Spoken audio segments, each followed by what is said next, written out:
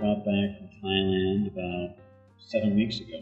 Before that, I was teaching English in Bangkok for a year and a half. New York, and, and any cosmopolitan city for that matter, can just be such a kaleidoscopic palette of color, people, cultures, stories that they carry with them. To be a part of that, to be a face in that crowd, I mean, it's inspiring, obviously. So now that I'm back in America and I've decided to stay here, I'm willing to live anywhere really New York, LA, somewhere in between, so long as I find work that is, of course, fulfilling and pushes me as a, as a writer and a professional, but also just as a, as a person. I'm very excited to see what opportunities await.